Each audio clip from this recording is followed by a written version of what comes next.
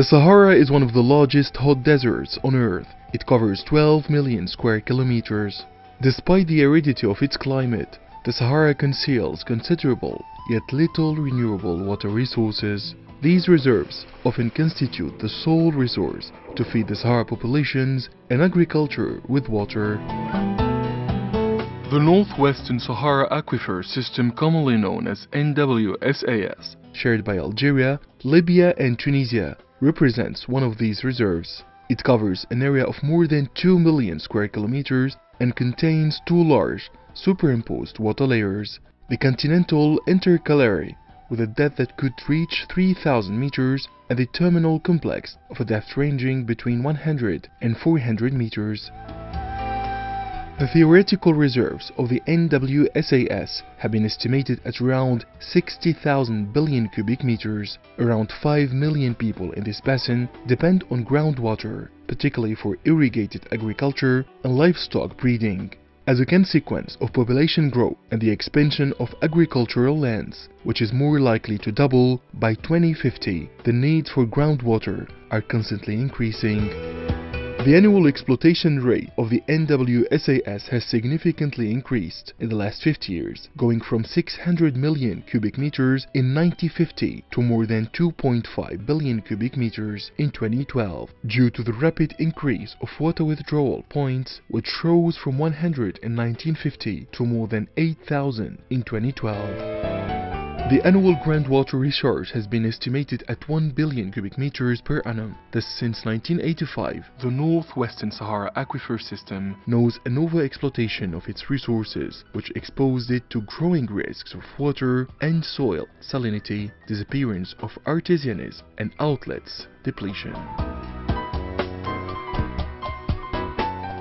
Since 1999, the Sahel and Sahara Observatory, with the support of the three countries concerned and together with other cooperation partners, is leading a regional project for a better management of the NWSAS. This project, known by its French acronym SAS, aims at improving the knowledge of the NWSAS, establishing a better valorization of its water resources, and setting up a sustainable management of the aquifer system.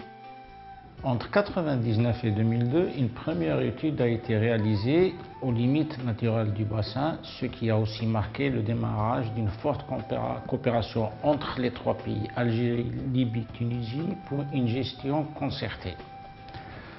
C'est un exemple rare à travers le monde, notamment concernant un bassin transfrontalier d'eau souterraine. Les premiers, les premiers résultats ont montré une nette amélioration des connaissances hydrauliques, notamment par la valorisation d'une masse considérable de données et d'études dispersées à travers les institutions nationales des trois pays. Il s'agit de la mise en place d'une base de données commune comportant plus de 8000 points d'eau et d'un modèle de gestion permettant de comprendre les impacts négatifs des prélèvements sur le très long terme, à savoir euh, de l'ordre d'un demi-siècle.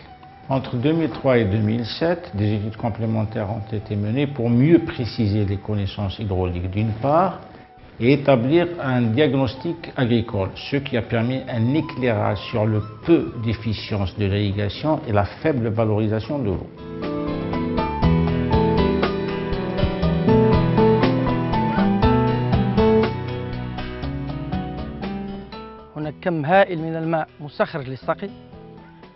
إلا أن المشكل يكمن في استعمال الطرق التقليدية للسقي مما أدى إلى تدني المردود الفلاحي.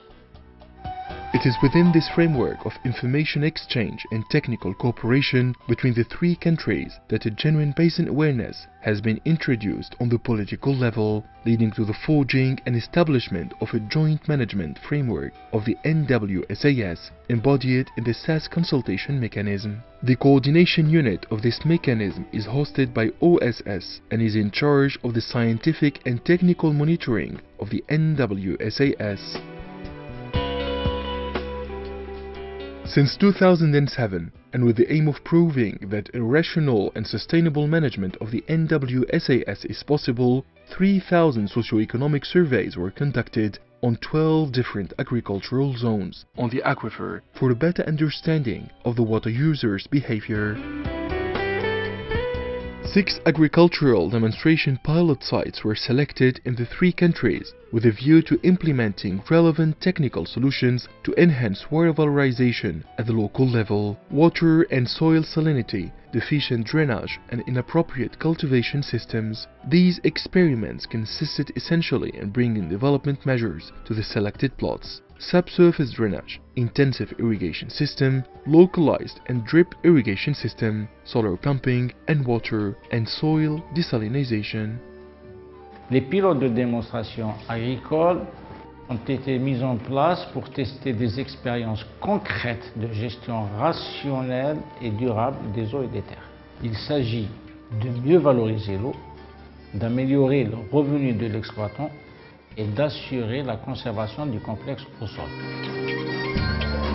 In the valley of Oued Righ in Algeria, the oasis of Sidi Mahdi located in Touggourt is essentially constituted of date palm trees irrigated using traditional methods. Excessive irrigation coupled with poor drainage lead to the saturation of the soil by groundwater, a phenomenon called hydromorphy, which intensifies soil salinity through the accumulation of salt contained in water. Due to water excess, the palm roots rot Hence, the date productivity fell and results in a sharp decrease of the farmer's revenues.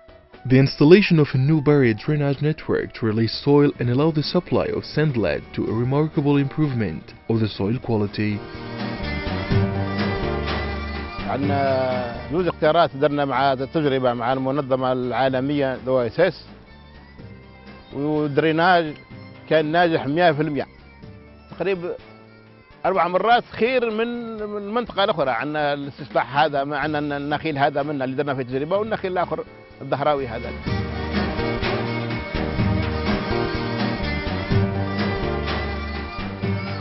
In the oasis of Jdida in Tunisia, the absence of slopes to help evacuate drainage waters has resulted in soil degradation due to salinity and waterlogging. A buried drainage system paired with a solar energy pumping station to drive waters outside of the oasis was established. The system allowed an effective drainage and helped to strongly reduce the salinity of soil from 10 grams to 4 grams per liter.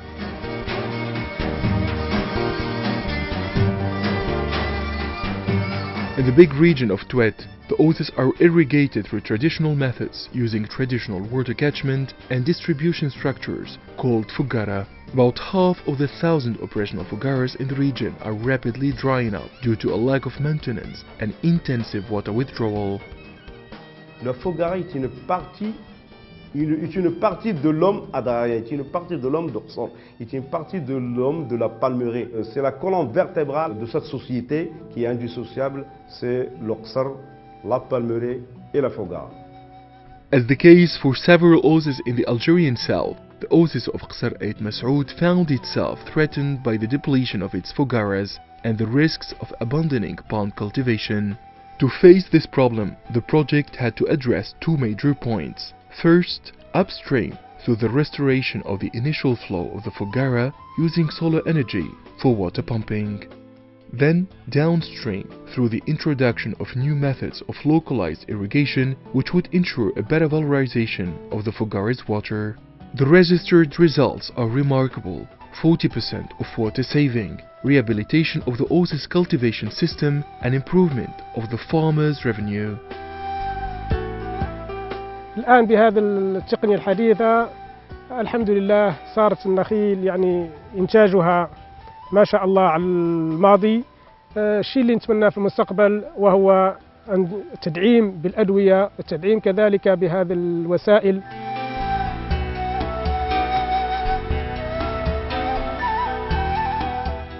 إحنا مفضل هذا الشيء هذا لو كان ممكن هنا على عام ولا ولا حتى على عامين ممكن نوصلوا حتى للجيران كاع نولوا كما تقول كاين جيراننا زقلوف وكاين نفيس وكاين حتى على مستوى البلدية تاع ترقان ماذا بينا؟ The Tunisian-Libyan Jafara is characterized by scarce and bad quality groundwater resources. Two-thirds of the Jafara water resources have a salinity of more than 5 grams per liter, which limits the possibilities of irrigation. In these arid regions, farmers practice rain-fed olive farming and suffer the risk of recurrent drought. المشكله فيها زيتون زيتون, زيتون تعب هذاك مناش محروق. اولا من قلة مطر وثانيا يخش عليه الصيف سخون. ييبس. الزيتون. أو نقول؟ ينقص من الماء يولي يبس شيح. ما عادش فيه. إلا إلا بالمطر. وإذا كان ما ثمش مطر شيء ما شيء ما يصير. In order to ease the impacts of recurrent drought, the region's farmers seek to refuge to irrigation with brackish waters, especially in summer. This practice, hardly efficient, resulted in water loss and soil salinity. The continuous degradation of water and soil quality pushed farmers to abandon their farms.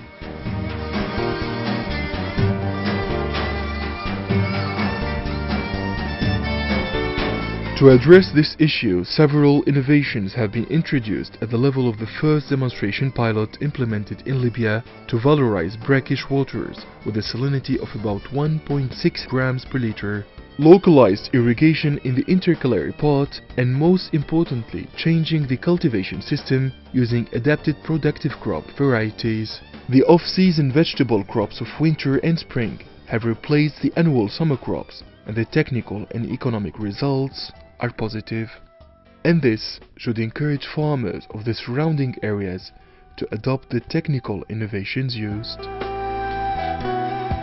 Similar to the first demonstration pilot in Libya, the demonstration pilot of Medenine, Tunisia aims at demonstrating the technical feasibility and economic profitability of the brackish water desalinization technique with a salinity of 4 grams per liter for the irrigation of high value added vegetable crops. عندنا هنا في مدنين خاصيات الموارد المائية هي موارد مائية نادرة وفي نفس الوقت مرتفعة الملوحة. عندنا حوالي أكثر من 75% من المياه ذات درجة ملوحة أكثر من 5 جرام في اللتر.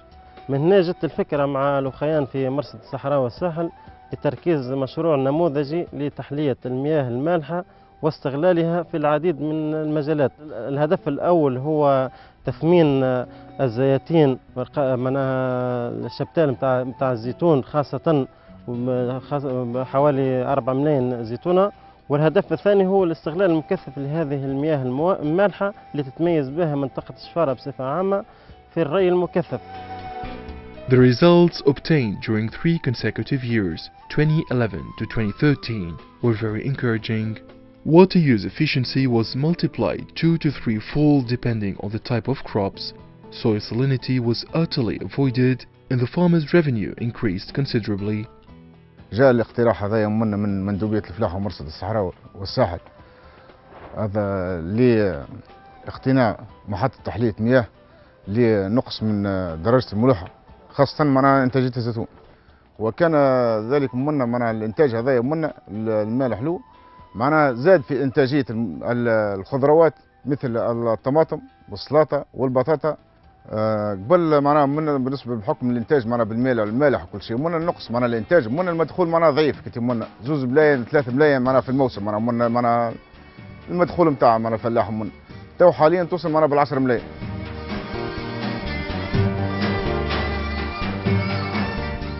The plain of Jafara shared by Libya and Tunisia. Abounds with inadequately valorized geothermal waters, i.e. waters with an average temperature reaching 60.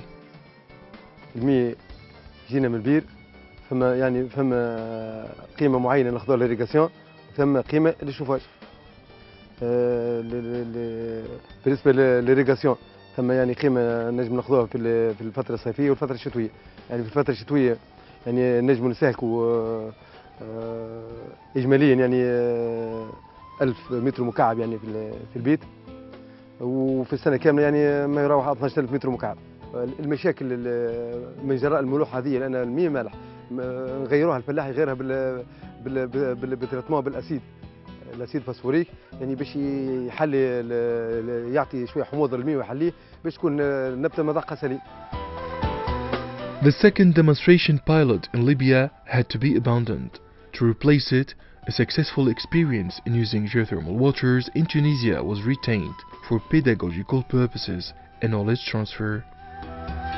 الماء اللي يخرج من البير يخرج مالح ثم 4 4.5 جرام بر لتر ي- يصير يصير الاسموز في الديسالمون في الاسموزور تصير انجكسيون تاع لي زونغري ليكيد مع ال- ال- لو اسموزي وتتبعث سوليسيون فيرتيليزونت لل للي بلانت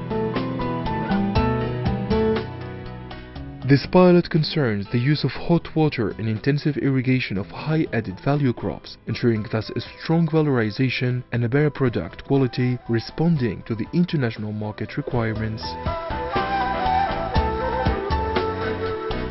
The socio-economic surveys conducted in the region and the experiments performed in the pilot sites allowed the analysis and understanding of users' behavior and showed at a small scale that it was possible to enhance water productivity in agriculture through effective irrigation methods and to improve profitability by using brackish water desalination techniques and solar energy pumping.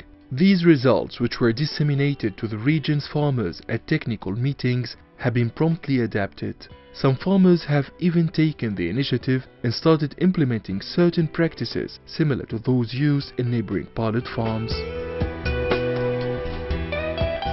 During the last 15 years, the study on the northwestern Sahara aquifer system that have been conducted by the Sahel and Sahara Observatory OSS with the support of the national institutions of the concerned countries and many other development or cooperation partners led in its first stage to an improved knowledge on the aquifer vital for the region and showed in a second stage that a better valorization of water and preservation of this rare and little renewable resource is possible.